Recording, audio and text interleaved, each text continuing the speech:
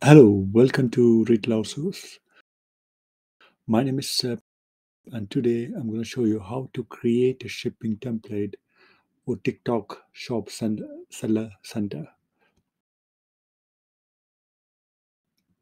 So once you have uh, signed into your dashboard, you can click on shipping, and from here you can see a shipping template. Okay, before setting that up, before clicking, uh, ideally I will recommend uh, to go under account and click on seller profile, and from here click on warehouse pickup and return address. Please make sure that you add those details over here uh, before uh, creating the shipping template.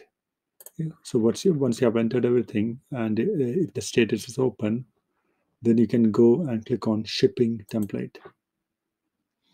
Okay, there is a button for add shipping template and it will say, uh, you know, there is a range of uh, 0 to 30 kilos. Um, but that's something, um, and if it's uh, like more than uh, uh, 30 kilos, then you still you can uh, dispatch it, but you have to use your own courier for that. In this case, um, you can see you have to name your shipping template first. So I'm just gonna put in free shipping. So it's from uh, United Kingdom. So if you are based in UK, then you can only ship to UK. So it, it's grayed out. So only UK is available at the moment and uh, if you want to exclude certain areas um, like um, remote areas islands or somewhere um, then you can add those lists over here uh, in my case at the moment uh, we'll be using royal mail that means um, no matter if it's a remote area or the, the, the rates are flat but you know if you're using DPD or Parcel Force or any other couriers then um, you know this might be different so in that case you can um, either exclude or you can uh, create a different uh, rate for them. So as I mentioned, we are using Royal Mail. So what I'm going to do, I'm going to put um,